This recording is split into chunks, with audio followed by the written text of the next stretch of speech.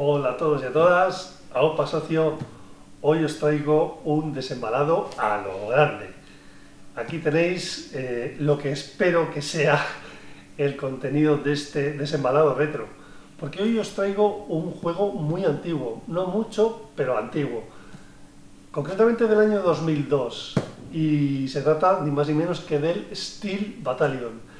Vamos a ver si lo que hay dentro de la caja, que todavía no la he abierto, se corresponde con lo que yo espero que haya dentro de la caja. Lo vemos en el vídeo.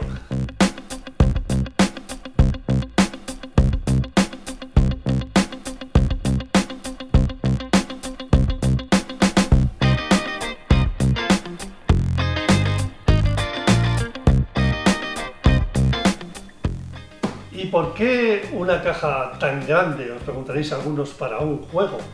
Un juego de mechas además, de mecas, como lo dicen en algunos. Aquí en mi casa lo decimos de mechas. Pues precisamente por la peculiaridad de este juego y lo que lo hace tan único, y es que es un juego basado en un controlador. Pero bueno, lo voy a ir explicando mientras abro la caja y así me, me voy emocionando un poco mientras, mientras veo el, el dichoso controlador. Y es que eh, este juego se creó a raíz de, una idea y es mm, usar un controlador y luego tener un controlador que fuera compatible con varios juegos y poder añadir diferentes piezas de software, diferentes juegos a ese controlador. Podría servir tanto para simuladores de vuelo como para, en este caso, controles de mechas. ¿Y qué pasó? Pues bueno, que el Steel Battalion, eh, muchos lo sabemos y es parte de su leyenda, fue un fracaso, no, no vendió como se esperaba, en parte debido a, su controlador, como era indispensable tener este, este mando, uh, sí que es grande, pues como era indispensable tener este mando, pues no mucha gente lo compró. En este caso, aquí veis que no hay trampa ni cartón, la caja es bastante grande. A ver cómo le doy la vuelta.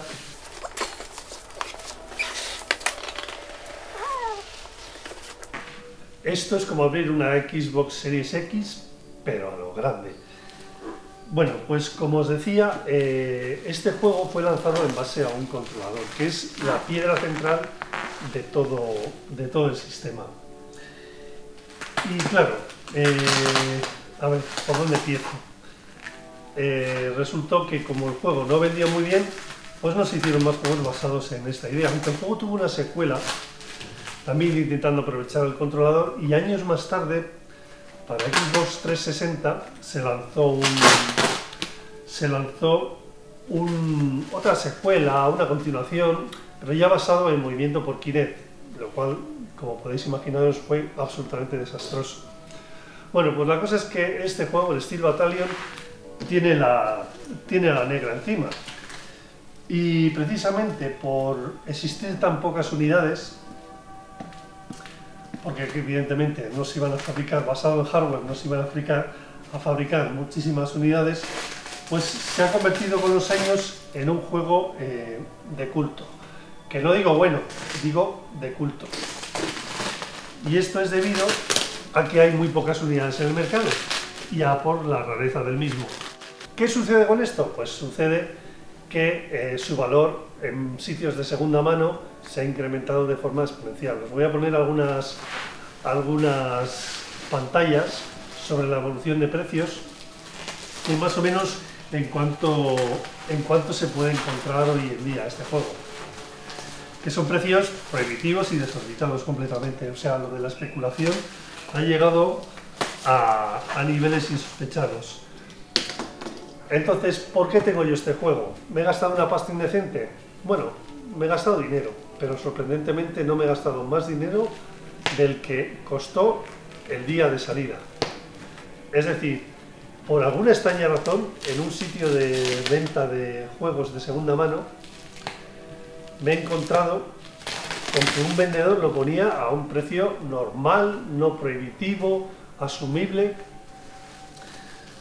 más de 100 euros, pero menos de 200, menos de 300, menos de 200, o sea, ¿Lo puedo decir? ¿No lo puedo decir? Pues sí, este juego me ha costado 190 euros. Con los gastos de envío eh, han salido unos 210 euros. Es una pasta, lo sé, pero sin embargo este juego ya no va a perder valor, va a revalorizarse y además, quién sabe, igual hasta es divertido. De todas formas, lo de que si este juego es divertido no habría que verlo, y os comento. Es un juego tan, tan, tan basado en el hardware, en un montón de botones, de palancas, en un control tan físico y complicado del simulador, que realmente yo creo que le quita le quita toda la, gracia al asunto. Por cierto, la persona que ha envuelto esto lo ha hecho a conciencia. Se nota que era un coleccionista y una persona que amaba lo que tenía en las manos, que sabía lo que tenía en las manos. Pues bien, como os decía antes, que me lío. Lo vi en un sitio de venta de segunda mano y lo vi, cuando vi el precio no me lo podía creer. Dije, no es posible, pero si este, es, precio es ridículo. O sea, si este juego se está vendiendo por más de 500 euros, están pidiendo por él hasta 2.000 euros en eBay, pero claro, una cosa es lo que pidan y otra cosa es lo que se pague. Pero de media, en sitios de, coleccionismo se está vendiendo pues, entre los 450 y 550 euros. Entonces dije, pues nada, nada, que lo compro. Además, tengo que decirlo, había sido, iba a ser mi cumpleaños en, breves fechas y bueno, me hice un autorregalo. La Virgen, qué cantidad de plástico Bueno, por fin, aquí está. La enorme, enorme, enormísima caja del Steel Battalion. Lo curioso es que este es un lanzamiento europeo. En Europa el juego llegó un año después que en Japón y en Estados Unidos. Llegó en el primer tercio del primer cuarto del 2003. Y bueno, eh, no sé cómo se les ocurrió semejante marcianada, que es pensar que esto se iba, se iba a vender bien. Me imagino que pensaron que iban a amortizar el coste del producto con la venta de los subsiguientes juegos, pero claro, se fue todo a la mierda, el sistema no funcionó, la gente no lo compró y hoy tenemos lo que, bueno, pues tenemos lo que es una pieza, una pieza rara, ¿no? Entonces, bueno, tengo que pedir disculpas porque mi iluminación no es la habitual, estoy improvisando este vídeo absolutamente y tengo la voz un poco cogida por el catarro, así que sueno algo más gangoso de lo normal. Pero creo que la ocasión lo merece y, necesitaba, necesitaba ver lo que había dentro de esa caja porque llevaba como una semana y media con ella y me mordía las uñas pensando, ¿y qué habrá? ¿Me habrá mandado ladrillos? ¿Me habrá mandado fuego? Pues no Aquí está el Steel Battalion. Como veis, la caja es enorme, es preciosa. Steel Battalion, con, esa, con ese diseño militar ochentero, noventero, totalmente. El logo me parece precioso, el logo de, del mecha. Toda la caja imitando una caja pues, como de municiones de carácter militar, el frontal de, y la trasera son prácticamente iguales y tenemos aquí, siendo esta la edición europea, tenemos aquí los idiomas en los que viene el juego, inglés, alemán, francés, italiano y español. Y bueno, no lo he dicho, pero estamos ante un juego para Xbox, la primera Xbox, la original, la negra, el consolón. Y es un juego que tiene una historia extraña con esta consola, porque no se desarrolló inicialmente para la Xbox, sino para la PlayStation 2, que era la consola que lo petaba. Eh, pero ¿qué sucedió? Que los propios desarrolladores se dieron cuenta de que la potencia de la Play 2 no era suficiente para, para el invento que tenían entre manos, voy a ir abriendo y cambiaron a, una consola que tenía pues muchas más capacidades técnicas como es en este caso la Xbox Eh, evidentemente el juego es de segunda mano, ha sido estrenado, yo no lo estreno, pero para mí es como si fuera un estreno. Lo que hay tras estas pestañas es todo el material que vas a necesitar para hacerte cargo de este juego. En este caso, aquí podéis verlo, pues tenemos lo que entiendo que será el manual y la copia del juego.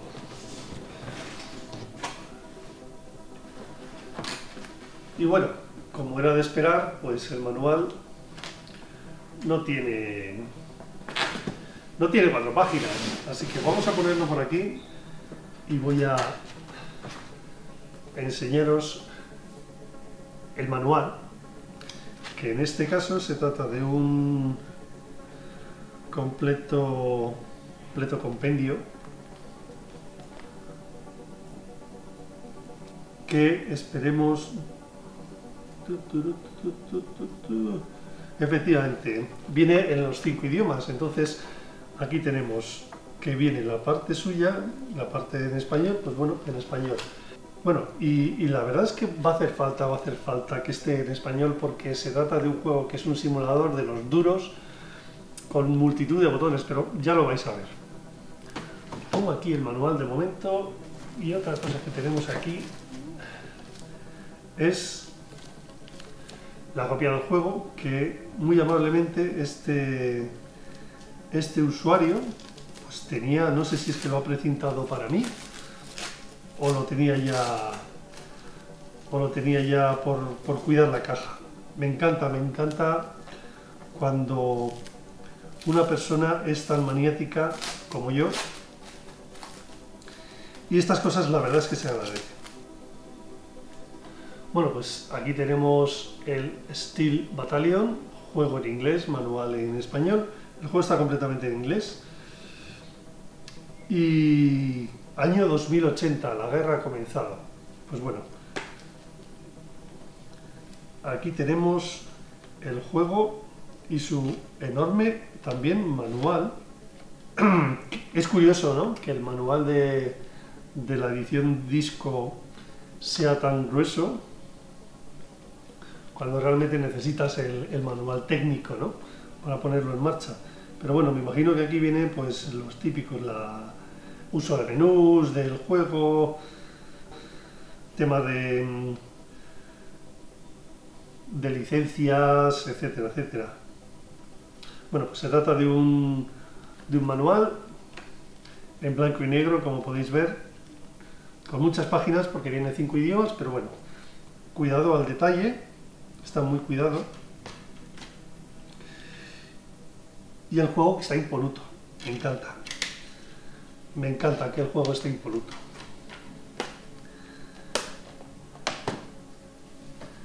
¿Qué más tenemos en la caja? Pues en la caja tenemos una página sobre información de garantía. Es decir, el juego está completo, completo. Tenemos el típico catálogo de, de Xbox con otros juegos de la época.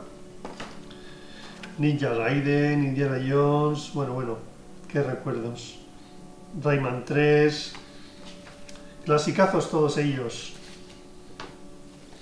Tenemos una garantía limitada de Microsoft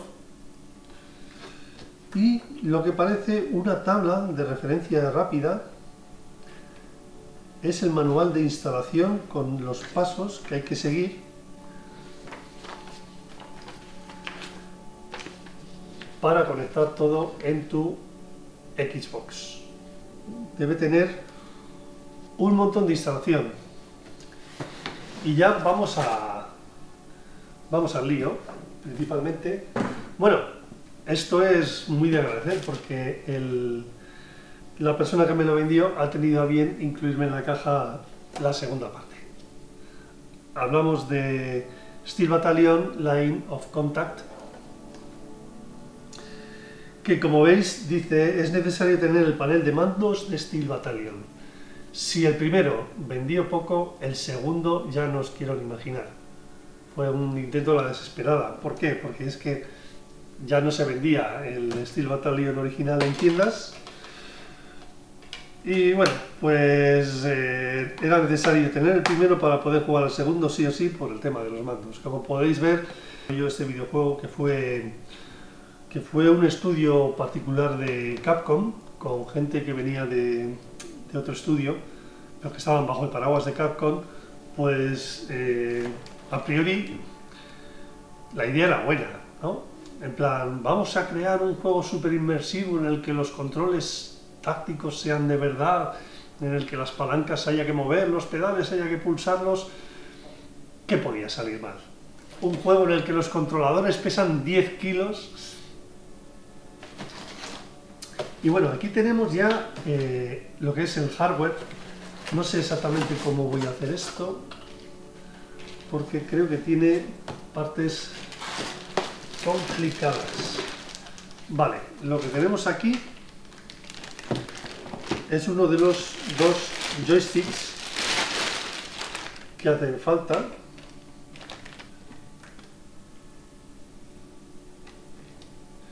Esto es muy interesante, no sé si lo veis. El joystick tiene memoria.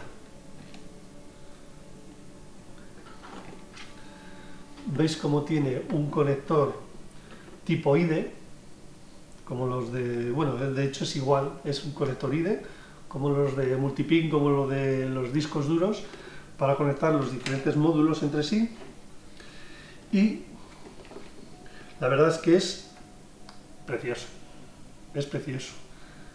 Como curiosidad os diré que en, una segunda revisión del, juego, en una segunda edición que se hizo, los botones que originalmente aquí veis que son verdes, pues los botones en la segunda edición del juego cambiaron a ser azules. Me encanta el, el botón con el protector de eyección, o sea, es mundial. Es mundial. Vamos a seguir sacando el siguiente módulo. La verdad es que está cuidado al detalle. Se nota que no, no le han dado nada de horas de juego no tiene ni un rasguño, el plástico está perfecto. Vale, en este caso el joystick no tiene, no tiene memoria. Así que, bueno, no sé con lo que me voy a encontrar. Y un montón de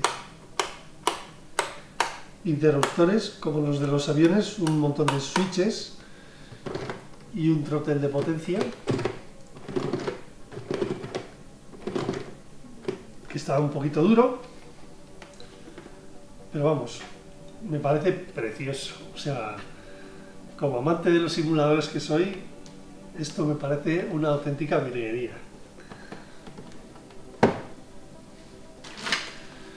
vemos aquí unas piezas de plástico que entiendo que serán para interconectar un, módulo con otro y una serie de tornillos de llave Allen.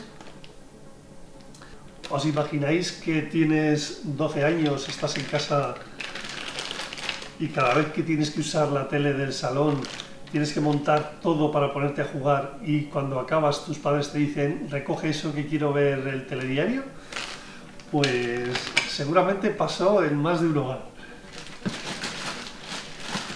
Vamos allá.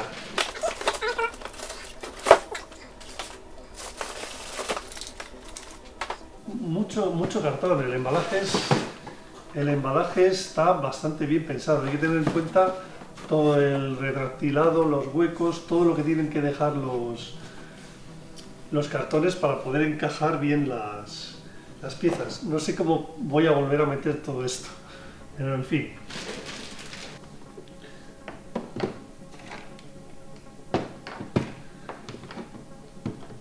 Aquí tenemos lo que es la consola central, que me parece preciosa, me parece una auténtica maravilla.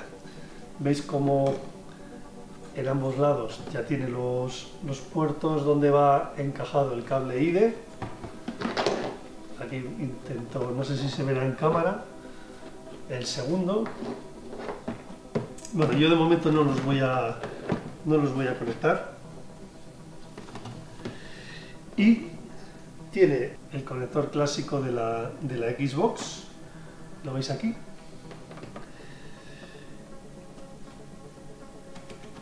Y esta pequeña maravilla, donde tenemos un montón de botones que son todos luminosos además, esto tiene que ser encendido, tiene que ser una locura, donde tienes, bueno, eh, contramedidas, chat, eh, magazine change, cambio de, cambio de cargador, sub, main, washing, extinguisher, el, el extintor para los incendios.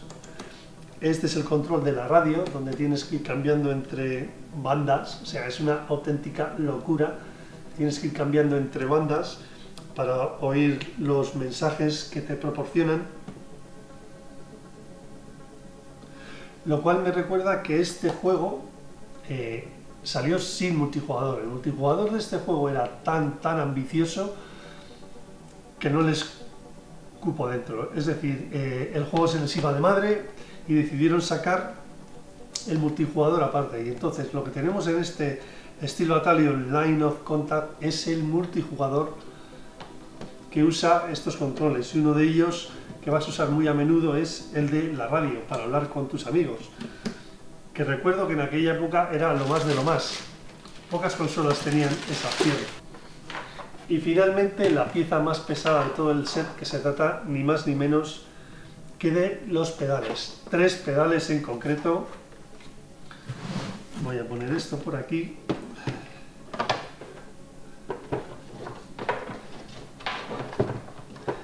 Tres pedales en concreto que aunque no lo parezca es plástico, es decir, tiene un acabado en, en un aluminio tiene acabado como si fuera aluminio, pero en realidad es plástico cepillado. Sí, es plástico.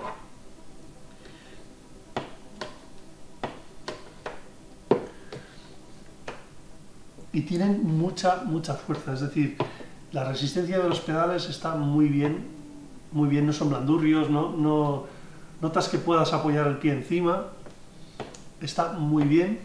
Y bueno, estos pedales se conectan con un, con un cable multipin tipo de los de Super VGA. Se conecta aquí en la parte trasera.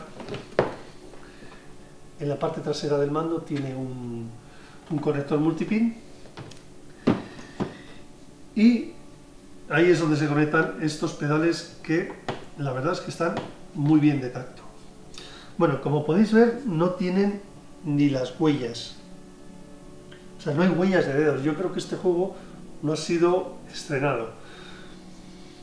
Bueno, no sé qué más deciros. A mí me parece alucinante que alguien en, un momento dado decidiera que esto podía ser la base de futuros juegos de aviones, de futuros juegos de, tanques, de, de, mechas, de submarinos, no lo sé. Y decidiera apostar tan fuertemente por un juego que al final acabó, como ya os he dicho, siendo un fracaso. Y no sé qué más contaros de esta marcianada de, control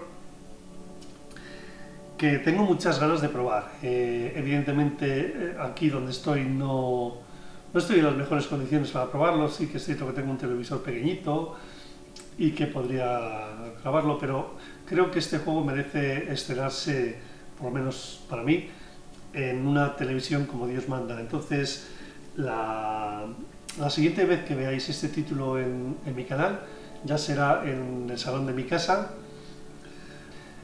A ver, es un juego que no me espero acabar, nunca se sabe.